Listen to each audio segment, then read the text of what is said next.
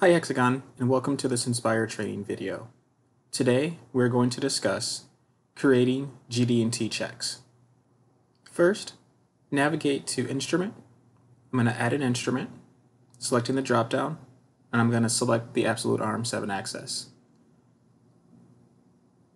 Now I'm going to go to CAD, import a CAD model, and inside the File Explorer I'm going to navigate to the new hex block large. I can verify the CAD model is correct. I can double left click, open the properties, and I can even change the color of my CAD model if I wanted to change it before moving into the inspection. Next, I'm going to go to the Features tab and select Extract from CAD. I'm going to make sure that I have Extract Geometric Features from CAD, and then left-clicked on the features on my part. If I need to create two planes, I can just simply select both planes, press enter, and it will automatically create one planar surface. Now I'm going to switch to a general surface and select the peanut shape. Press enter to accept and press enter to complete. Now I'm going to go to my alignment tab. I'm going to select create relationship and choose my plane, cylinder, and my plane 2. Press enter when I'm done. And now we're going to open the properties for each feature and add the datum. So for plane 1, I'm going to add datum A. For cylinder 1, I'm going to add datum D. And then for plane 2, I'm going to add datum B. Next, I'm going to open the criteria panel for my surface 1, select Add GD&T, switch my check type over to surface profile, enter my tolerance of 0.4, and select it to the primary of datum A, secondary of datum D, and tertiary of datum B, and select Add. Once this is confirmed, I'm now going to connect to the instrument. And after I have connected to the instrument, I have the ability to just left click and drag the feature into the main graphical view.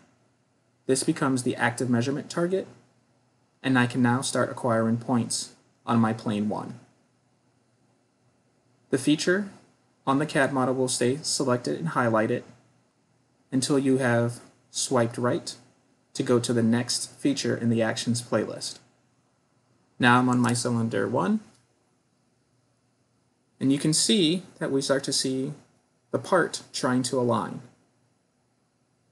Once I complete the inspection for plane 2, this will complete my relationship alignment because I have all of the features necessary for that to be completed.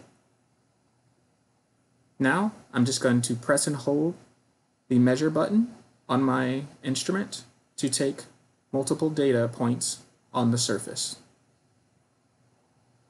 Next, I'm going to go to Features, drop down to the Point feature, and select Create Surface Point Comparison. This will give me the ability to move my probe around different locations on my part and give a live deviation from my CAD model to the area of inspection. So I'm going to do a little bit on the top plane, a little bit on the opposite plane where plane 2 is located.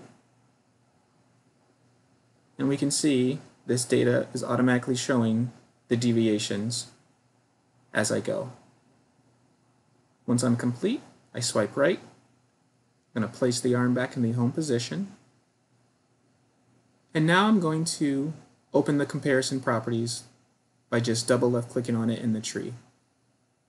Inside here, I can change the use components so I can focus on the X, Y, or Z values. Or I can ignore edge projections. And I also have the ability to change the vector size of the points in the main graphical view. If you select nothing for the use components, it will show no deviations in the comparison. Now, I can measure more features on the part, or I can create a callout for my surface 1. First, navigate to the tree, and double left click on surface 1. This will open the properties of the feature, and then you can click on where it says Show Callout. This will create a callout in the main graphical view based off the information and criteria. Right-click, select Properties, and you have the ability to show actual, tolerance, or change the expansion state. Thank you for watching, and we hope you were inspired.